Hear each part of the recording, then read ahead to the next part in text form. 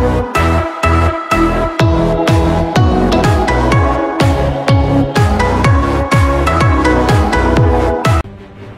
जैसी महामारी में दिल्ली पुलिस अपनी अलग भूमिका निभा रही है। लोगों को खाना खिलाना हो या लोगों की सेवा करना हो, हर तरीके से दिल्ली पुलिस जो है तथ्य पर डटी हुई है। उन्हीं का धन्यवाद करने के लिए आज दक्षिणी दिल्ली के सांसद रमेश बिदूड़ी नेपसराय थाने पहुँचे,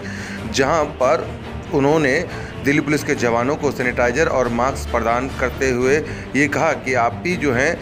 दिल्ली के असली योद्धा हैं, जो कि कोरोना वायरस जैसी इस महामारी की बीमारी में भी आपने अपना घर और सब कुछ त्यागने के बाद भी आप खड़े हैं। उन्हीं का धन्यवाद करने और उनकी सेहत का ख्याल रखते हुए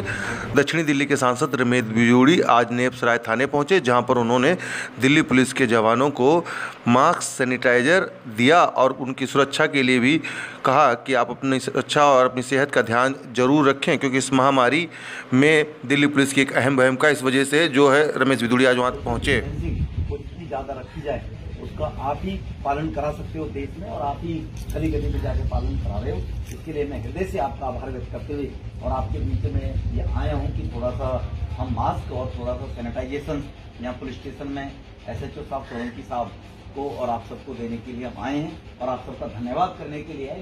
कृतज्ञता के साथ में, निष्ठा के साथ में आप इस कार्य को कर रहे हैं। ये